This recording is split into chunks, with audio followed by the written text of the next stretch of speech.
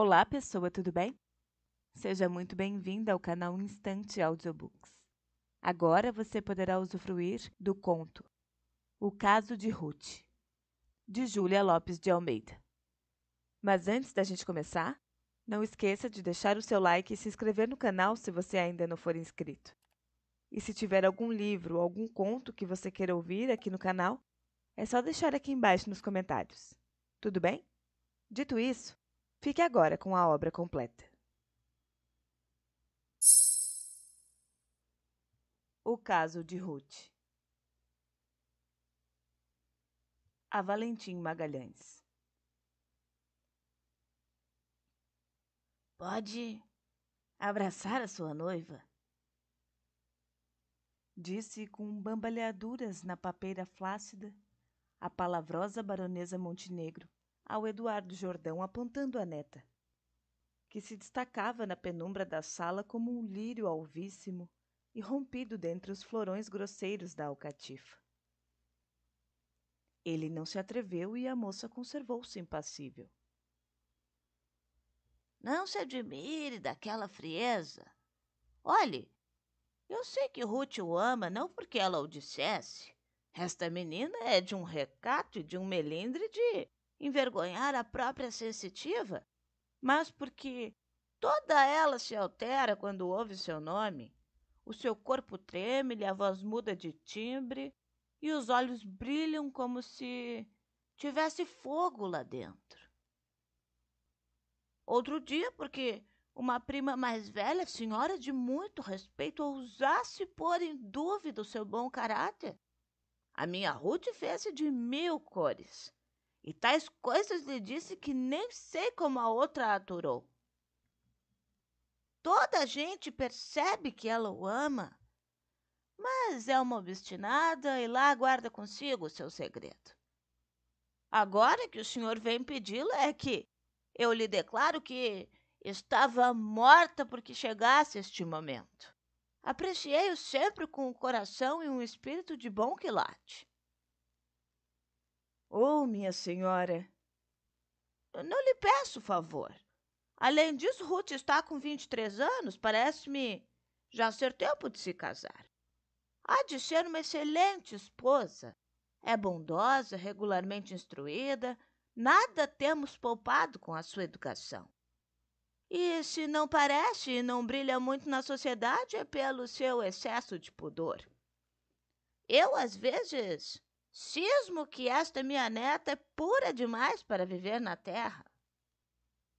Todas as pessoas de casa têm medo de lhe ferir os ouvidos e escolhem as palavras quando falam com ela. Não admira, a mãe teve só esta filha e foi rigorosíssima na escolha das mestras e das amigas. O padrasto tratava-a também com muita severidade, embora fosse carinhoso. Um santo homem. Desde que ele morreu que nos falta alegria em casa.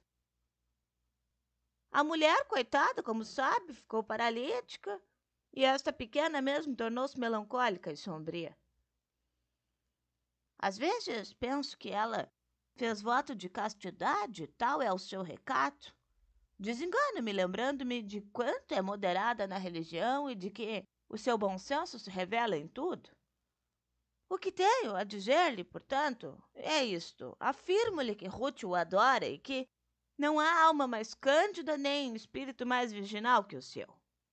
Aí, deixe por alguns minutos, se há o respeito por mim que lhe tolhe as palavras, concedo-lhe plena liberdade.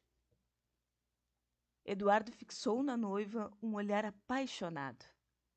Na sua brancura de pétala de camélia não tocada, Ruth continuava em pé no mesmo canto sombrio da sala.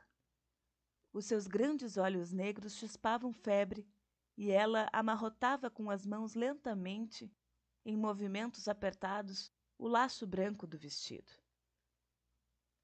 A baronesa acrescentou ainda, carregando nas qualidades da neta e fazendo ranger a cadeira onde se erguia. Ruth nunca foi de lástimas e, apesar de mimosa e aparentemente frágil, tem boa saúde.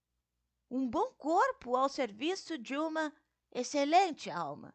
Dirão, Estas palavras ficam mal na tua boca, pouco importa, são a verdade. Tenho outras netas, filhas de outras filhas. Tenho criado muitas meninas, minhas e alheias, mas em nenhuma encontrei nunca tanta doçura, tanta altivez digna de tanta pudicícia. Aí deixe-lhe, confesse-a. A velha saiu. Todos os rumores da rua rolaram confusamente pela sala. A porta que se abriu e fechou trouxe numa raja de luz os repiques dos sinos, o rodar dos veículos, o sussurro abominável da cidade atarefada, mas também tudo se extinguiu depressa. A porta fechou-se, as janelas voltadas para o jardim mal deixavam entrar a claridade, coada por espessas cortinas coloridas, e os noivos ficaram sós, silenciosos, contemplando-se de face. O finado barão fora um colecionador afincado de móveis e de outros objetos dos tempos coloniais. Súdito de Dom João VI, de que sua adorável memória acusava ainda todos os traços já aos 90 anos, era sempre o seu assunto predileto, a narração dos sucessos históricos presenciados por ele. À proporção que ia se afastando dos seus dias de moço, mais aferrado se fazia aos gostos e às modas do seu tempo. Só se servia em baixela assinada com emblemas da Casa Bragantina e, a propósito de qualquer coisa, dizia fincando o queixo agudo entre o indicador em curva e o polegar. Lembro-me de uma vez em que a dona Carlota Joaquina. Ou então, em que Dom João VI ou Dom Pedro I, etc. E em seguida lá vinha a descrição de um TD1 ou de uma procissão a que sua imaginação facultosa empregava as mais brilhantes pompas. A família tinha um sorriso condescendente para aquele apego, já sem curiosidade à força de ouvir repetir os mesmos fatos. Os amigos evitavam tocar, de leve que fosse, em assuntos políticos, receosos da longura do capítulo que o barão, a propósito, lhes despejasse em cima. Mas só ele, o bom, o fiel, nada percebia. E com os olhos no passado, toca a citar ditos e atitudes dos imperadores e a curvar-se numa idolatria pelo espírito boníssimo da última imperatriz. Alguma coisa disso se refletia em casa. Tudo ali era sóbrio, monótono e saudoso. Cadeiras pesadas de moldes coloniais, largas de assento, pregueadas no couro lavrado de coroas e brasões fidalgos, uniam as costas às paredes de onde um ou outro quadro sacro prendia desguarnecido e tristonho. Assim o quisera ele, que até mesmo na hora suprema rejeitara um belo crucifixo que lhe oferecera ao padre, voltando os olhos suplicantes para um outro crucifixo mais tosco erguido sobre a cômoda, e que pertencera a Dom Pedro I. Para ele, naquela cruz, não estava só o Cristo. Estava de envolta com o respeito pelos monarcas extintos, a lembrança dos seus folguedos de moço. Talvez mesmo num volteio súbito da memória se lembrasse das festas religiosas em que namorara, à sombra dos conventos, a sua primeira mulher, e beliscara com freimas amorosas os braços gordos de Janoca, a mulatinha mais faceira de então. Quem sabe, talvez que, na hora da morte, não se possa só a gente lembrar das coisas sérias. Qualquer hora vivida pode ser recordada rapidamente sem tempo de escolha. Como a Janoca não pertencera à história, a família ignorou-a e, pelo ar gélido daquela galeria de espectros palacianos, não pareceu nem um requebro quente de mulatinha risonha que lhes desmanchasse a compostura. Depois de viúva, a segunda baronesa reformara algumas coisas e confundira os estilos, pondo no mesmo canto um contador Louis XV, um móvel da Renascença e uns tapetes modernos entre largos reposteiros de seda cor de marfim. Aquela extravagância não conseguira quebrar a severidade do todo. Tinha uma fisionomia casta e grave aquela sala. As virgens dos quadros de longo pescoço arqueado e rosto pequenino gozavam ali o doce sossego de uma meia tinta religiosa. Mas lá dentro, os dias passavam-se entre o tropel da criançada, os sons do piano de Ruth e a confusão dos criados. E era por isso que todos fugiam lá para dentro, e que só Ruth, nas suas horas de inexplicável tristeza, se encerrava ali, em companhia da Madonna da Cadeira e da Virgem de São Sisto. Era nessa mesma sala que ela estava ainda muda e pálida, em frente ao seu amado. Ruth, balbuciou Eduardo. Mas a moça interrompeu-o com um gesto e disse-lhe logo com voz segura e firme: Minha avó mentiu-lhe. O noivo recuou num movimento de surpresa e foi ela quem se aproximou dele, com um esforço arrogante e doloroso, deslumbrando-o com o fulgor dos seus olhos belíssimos, bafejando-lhe as faces com seu hálito ardente. Eu não sou pura. Amo muito para o enganar. Eu não sou pura.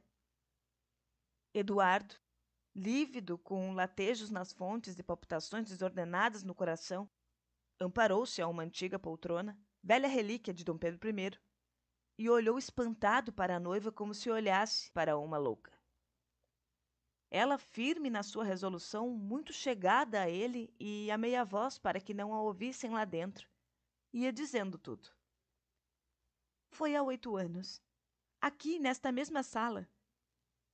Meu padrasto era um homem bonito, forte, eu uma criança inocente. Dominava-me. A sua vontade era logo a minha. Ninguém sabe. Oh, não fale, não fale. Pelo amor de Deus. Escute, escute só. É segredo para toda a gente. No fim de quatro meses de uma vida de luxúria infernal, ele morreu e foi ainda aqui, nesta sala, entre as duas janelas, que eu o vi morto, estendido na essa. Que libertação, que alegria que foi aquela morte para minha alma de menina ultrajada. Ele estava no mesmo lugar em que me dera os seus primeiros beijos e os seus infames abraços. Ali, ali. Uh, o danado. Mais do que nunca lhe quero mal agora. Não fale, Eduardo. Minha avó morreria, sofre do coração, e a minha mãe ficou paralítica com o desgosto da viuvez. Desgosto por aquele cão. E ela ainda me mandava rezar por sua alma, a mim que a quero no inferno. Às vezes tenho ímpetos de lhe dizer: limpa essas lágrimas. Teu marido desonrou tua filha. Foi seu amante durante quatro meses. Calo-me, piedosamente. E acodem todos que não chorei a morte daquele segundo pai e bom amigo. É isto minha vida. Cedi, sem amor, pela violência, mas cedi Dou-lhe a liberdade de restituir a sua palavra à minha família. Ruth falara baixo, precipitando as palavras toda curvada para Eduardo, que lhe sentiu o aroma dos cabelos e o calor da febre. Em um último esforço, a moça fez-lhe sinal que saísse, e ele obedeceu, curvando-se diante dela, sem lhe tocar a mão. O outro está morto há oito anos. Ninguém sabe, só ela e eu. Está morto, mas vejo-o diante de mim. Sinto-o no meu peito, sobre os meus ombros, debaixo de meus pés. Nele tropeço, com ele me abraço em uma luta que não venço nunca. Ninguém sabe, mas por ser ignorada será menor a culpa? Dizem todos que Ruth é puríssima. Assim o creem. Deverei contentar-me com essa credulidade? Bastará mais tarde para a minha aventura saber que toda a gente me imagina feliz? O meu amigo Daniel é felicíssimo exatamente por ignorar o que os outros sabem. Se a mulher dele tivesse tido a coragem de Ruth, Amalaria ele da mesma maneira? Se a minha noiva não me tivesse dito nada, não seria o morto quem se levantasse da sepultura e me viesse relatar barbaramente as suas horas de volúpia, que me fazem tremer de horror? E eu, ignorante, seria aventuroso, amaria minha esposa, à sombra do maior respeito e com a mais doce proteção? E assim, poderei sempre conter o meu ciúme e não aludir jamais ao outro? Ele morreu há oito anos. Ela só tinha quinze, ninguém sabe. Só ela e eu. E ela ama-me, ama-me, ama-me. Se não me amasse, fosse em todo caso minha noiva, dir-me-ia do mesmo modo tudo? Não, parece-me que não. Não sei. Se não me amasse, nada me diria. Daí, quem sabe? Amo-o muito para o enganar. Parece-me que lhe ouvi isto. Se eu pudesse esquecê-la, não devo adorá-la assim. É uma mulher desonrada. A pudica Açucena de envergonhar sensitivas é uma mulher desonrada. E eu a amo. Que hei de fazer agora? Abandoná-la? Não seria digno nem generoso. Aquela confissão custou-lhe uma agonia. Se ela não fosse honesta, não afrontaria assim a minha cólera, nem se confessaria aquele que amasse só para não sentir a humilhação de o enganar. E o que é por aí a vida conjugal se não a mentira? A mentira e, mais ainda, a mentira. O outro está morto, ninguém sabe, só ela e eu. Ela e eu. E que nos importam os outros, tendo toda a mágoa em nós dois só? Antes todos os outros soubessem. Não! Que será preferível? Ser desgraçado guardando uma aparência digna ou. Não! Em certos casos ainda há uma felicidade em ser desgraçado. Ela ama-me, eu amo-a. Ele morreu há oito anos. Já nem lhe falam sequer no nome, ninguém sabe. Ninguém sabe, só ela e eu. Eduardo Jordão passava agora os dias em uma agitação medonha. Atraía e repelia a imagem de Ruth, até que um dia, vencido, escreveu-lhe longamente, amorosamente, disfarçando sob um manto estrelado de palavras de amor a irremediável amargura da sua vida. Que esquecesse o passado, ele amava. O tempo apagaria essa ideia e eles seriam felizes, completamente felizes. O casamento de Ruth alvoroçava a casa. A baronesa ocupava toda a gente, sempre abundante em palavras e detalhes. Só Ruth, ainda mais arredia e séria, se encerrava no seu quarto, sem intervir em coisa alguma. Relia devagar a carta do noivo, em que o perdão que ela não solicitara vinha envolvido em promessas de esquecimento. Esquecimento! Como se fosse coisa que se pudesse prometer.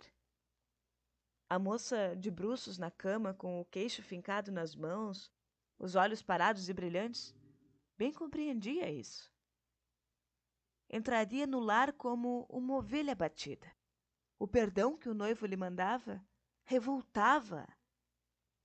Pedira-lhe ela que lhe narrasse a vida dele, as suas faltas, os seus amores extintos? Não teria ele compreendido a enormidade do seu sacrifício? Seria cego? Seria surdo? dono de um coração impenetrável e de uma consciência muda? As suas mãos estariam só tão feitas a carícias que não procurassem estrangulá-la no terrível instante em que ela lhe dissera: Eu não sou pura? Ou então porque não a ouvira de joelhos compenetrado daquele amor, tão grande que assim se desvendava todo? Ele prometia esquecer. Mas no futuro, quando se enlaçassem, não evocariam ambos a lembrança do outro?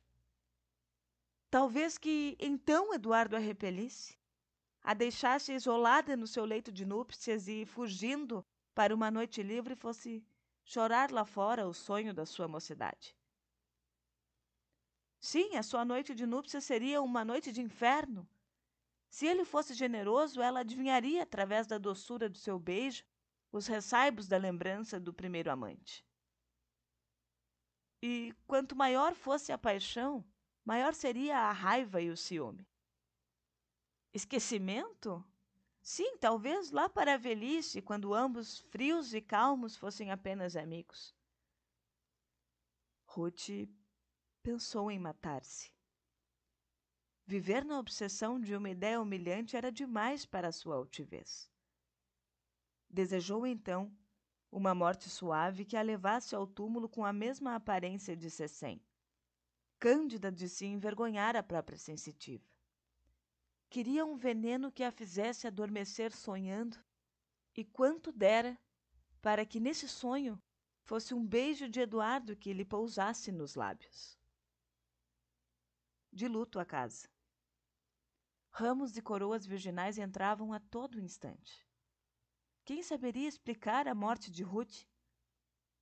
Foram achá-la estendida na cama já toda fria. Agora estava entre as duas janelas na grande sala sombria, espalhando sobre o fumo da essa as suas rendas brancas e o seu fino véu de noiva. Parecia sonhar com o desejado esposo que ali estava ao seu lado, pálido e mudo. Entravam já para o enterro e foi só então que uma voz disse alto, saindo da penumbra daquela sala antiga: Vai ficar com o padrasto no mesmo jazigo. Eduardo fixou a morta com doloroso espanto. Estava linda, na pele alvíssima, sem nenhuma sombra. Os cabelos negros mal atados na nuca desprendiam-se em uma madeixa abundante de largas ondas. Que? Seria ainda para aquele outro aquele corpo angélico, tão castamente emoldurado nas roupas do noivado? Seria ainda para o outro aquela mocidade, aquela criatura divina que deveria ser sua? A mesma voz repetiu: Vai ficar com o padrasto com o padrasto noites e dias, fechados, unidos, sós. Fora para isso que ela se matara? Para ir ter com um outro? Aquele outro de quem via o esqueleto torcendo-se na cova, de braços estendidos para a reconquista da sua amante. Alucinado, ciumento, Eduardo arrancou então num delírio o véu e as flores de Ruth e, inclinando um tocheiro, pegou fogo ao pano da essa. E a todos que acudiram nesse instante, pareceu que viam sorrir a morta em um êxtase como se fosse aquilo que ela desejasse.